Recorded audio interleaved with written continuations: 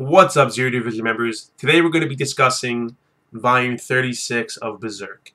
The first thing I want to talk about is how far Isidro and Farnese have come as characters.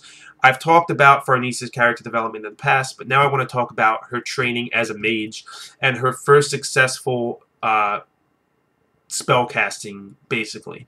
Her gaining the protection of the four spirits of the different directions, the east, the west, the south, and the north. Uh, I really enjoyed seeing that because it shows us that she's filling her role in the group as a mage and Casca's babysitter. She's showing herself to be more useful. Then, during the battle with the ghost ship, we've seen Isidro get a rematch against the pirate that he fought in Vritannis. And he was able to get an upper hand. He was using his training that he had with, I think his name's Anzo, the guy that was, you know, the, the guy with the mustache that's a stowaway right now. We're seeing the fruits of his labor and the, you know, the experience he gained from having spars with this guy.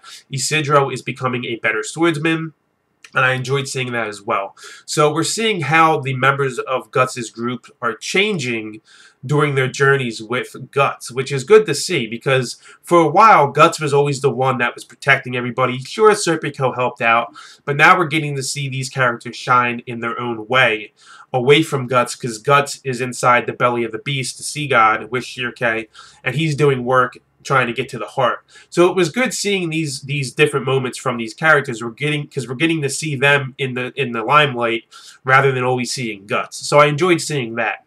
Now I want to talk about the Moonlight Boy showing himself once again to Guts and Casca.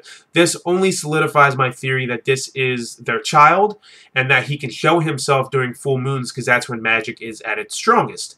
So either he is gaining control of Griffith's body during full moons or he's splitting off from Griffith and going to his parents. But either way, this is Casca and Guts' child. There's no doubt about it. It looks just like uh, Casca as a boy, basically, with the long black hair. And once again, he helped Guts gain control of himself in the Berserker armor, like he did in a previous volume. So, I enjoy seeing the Moonlight Boy again, but I want to know exactly what's going on with him. I want Miura to explain further what exactly is going on in this whole situation. Because other than him showing himself and getting protected by Casca and then helping Guts gain control of himself, the Moonlight Boy really didn't do much in this volume. The only other thing he did was point out when he climbed up on the net or whatever, he pointed over at the island and shown everybody that the sea god was reawakening itself uh, and just and basically sinking the island. Meanwhile, Guts and Schierke are inside its stomach. So other than that, the Moonlight Boy didn't have a huge role in this volume. Maybe next volume he'll have a bigger role and he'll protect Casca and Guts. I don't know. But the other thing I want to talk about now is the legend of these mermaids or Merrows that Isma told Schierke or told Isidro and how it came it, it's it's real. It basically existed at some point. And now it's showing itself because the two worlds have combined the world of fantasy and the world of the physical. And this arc is basically to show us the after effects of that event that happened um, during the uh, the whole Falconia arc basically and we're seeing these creatures of legend actually exist in the physical world because these two worlds have merged. So that's all this arc really is. And I, am enjoying it for what it is, though I'm, I'm, I to end because I want to see what's going to happen after all of this. I want Guts and the crew to get to the Elf Island, but the bottom line is, I don't think they will in Volume 37. Maybe in the chapters that have been released online they get there, I don't know. But I, I don't think they do. But basically, we see Isma is a mermaid. Um, and the story that her, her father told her is true that the mermaid sealed the sea god inside the island way back in the day. And the sea god has reawakened itself, destroying the island. Isma turned into a mermaid, and we see a bunch of other mermaids go to do battle against the sea god. Um, so that legend basically comes true, and Isma's surprised. She's like, oh, my, my, my pa was right, you know? He was telling me the truth. But she never knew that she was a mermaid herself. So it was interesting to see that as well. But like I said, this arc is basically just to show us the after effects of the merging of the two worlds. And that's fine. That's good. We need something like that to show us what exactly is going on in the world after that huge event between Ganishka and Griffith and the Skull Knight and whatnot. But other than that, all this volume was was basically huge battles, the Moonlight Boy appearing again, and us seeing Farnese and Serpico's training pay off basically. And I, I am glad that that we, we got to see that because I've been waiting for I was I've been waiting for Farnese. I can't even talk today, guys.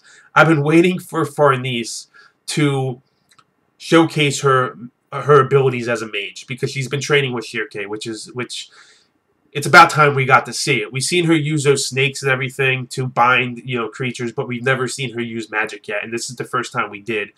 And it shows us that she has a future as a mage, and she has a future as a mage in Guts' group. She fills a role alongside Schierke, which is good.